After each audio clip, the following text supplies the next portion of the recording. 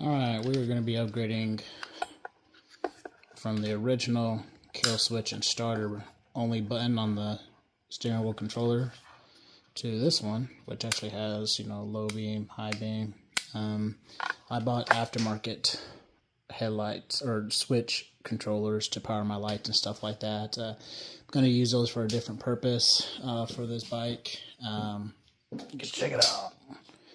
Underglow, so can see that the headlight's on, headlights off. But basically, I want to kind of clean that up. If not, if I don't want to continue modifying this, adding more crap to it. So it just really depends on what my daughter wants. But yeah, I'm excited because I can remove that switch and just control everything here. Now the situation is OEM plug, aftermarket plug. It's not the end of the world. All right. Uh, I got this off Amazon. It was like 15 bucks. Um, it's all from China, right? Just work with what we got. Um, after I took this one off, simply uh, just took a look at the wires inside, matched it up to the pin. Basically, gonna take the remove these pins out of here, reuse this harness, and uh, de-pin this one, and just move the pins over here um, if that doesn't work, if the, these pins are larger than this pin, not the end of the world. I'll just cut the wires here, cut the wires here, and splice it, and you know, um, and whatnot. But as far as the headlight wires on here, I'm going to continue making uh, a new wiring harness to go to the front light, the rear light, and the rear strobe lights and whatnot. But um, kept on blowing my brake lights uh, that I added on the back. Um, it only happened whenever I started it, and uh, whenever I took this thing apart inside here, as you can probably kind of halfway see, it's pretty rusty in there.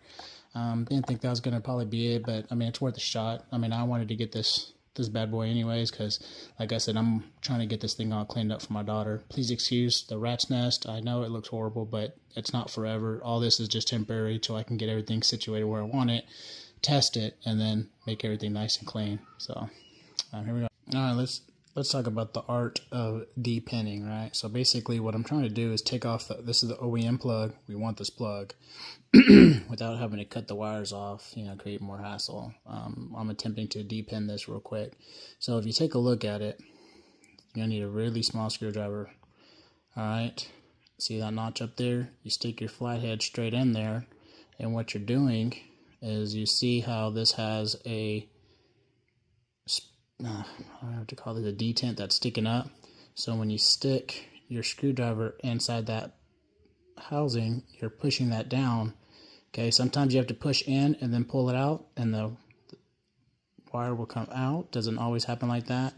You can kind of halfway see it in here. Let me see if I can do it on camera.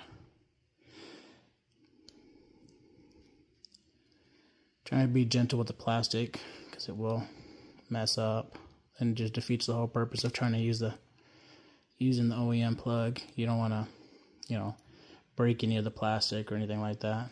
So, but yeah, it's that simple. The art of depinning, very simple. Now I'm going to depin that other, um, the new one, depin that, stick those pins. Cross my fingers that they slide right in there. If they don't, it's not the end of the world. Then I'll just go back to plan B, cut these, solder them, and heat shrink all that, and, uh, you know, use this plug. All right, I was uh, successful in removing the depinning the old pins out of here. Well, first of all, I depinned the original um, starter and kill switch um, controller, right? Took those out because I wanted this. I wanted to try to leave this as much as plug and play as possible. Um, after I took that off, I depinned the old wires. I'm taking the new harness, depinning it, and plugging these wires in here the new ones, and they fit nice and perfect, nice and snug. Okay, um, show you what's up. Hook that up, right? This is this is the lights. I'll I'll fix that here in a minute, but try to start it with the kill switch on. Won't start.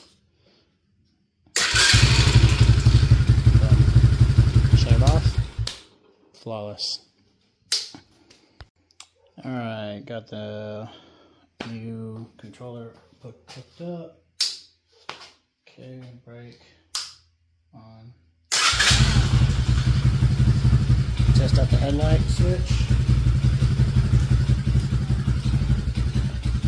Headlight switch works great.